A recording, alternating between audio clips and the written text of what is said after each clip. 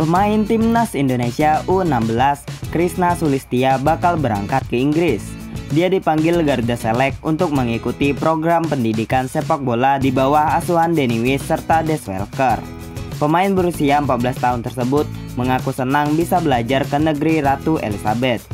Dia bakal berangkat setelah menyelesaikan pemusatan latihan bersama timnas U16. Alhamdulillah, saya merasa sangat senang. Karena itu, saya akan lebih giat belajar dan saya akan mencari ilmu di luar sana, ucap Krisna. Bakat sang pemain mulai disorot setelah tampil pada Piala Suratin U15. Dia mengantarkan timnya Gapsi Sambas asal Kalimantan Barat menjadi runner-up. Hebatnya lagi, Krisna dinobatkan sebagai top skor di akhir kejuaraan dengan torehan 6 gol. Performa apiknya dicium pemandu bakat Garuda Select, Wesley Awad yang tidak segan memboyongnya ke Inggris. Saya mengenal sepak bola dari ayah.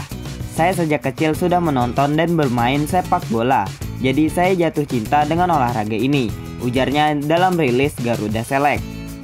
Krishna berharap bisa terus mengembangkan kemampuannya sebab dia memiliki cita-cita berkarir di luar negeri dan memperkuat timnas Indonesia.